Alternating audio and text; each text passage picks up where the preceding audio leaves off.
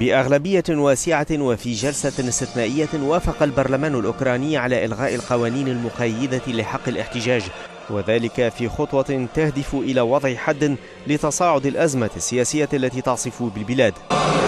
النواب وقفوا دقيقة صمت في ذكر الأشخاص الذين قتلوا خلال الاحتجاجات الأخيرة في كييف. وكان تبني القوانين في السادس عشر من الشهر الحالي. أثار غضب المحتجين الذين نزلوا إلى الشوارع للتظاهر ضد رئيس البلاد فيكتور يانوكوفيتش منذ شهرين تقريبا. وسبق انطلاق الجلسة البرلمانية إعلان رئيس الوزراء الأوكراني ميكولا أزاروف استقالته.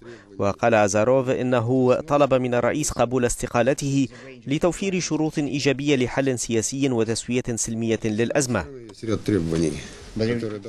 في الأثناء بات وسط العاصمة كييف أشبه بمعسكر محصن من الحواجز حيث ما يزال المحتجون يرابطون في أماكنهم.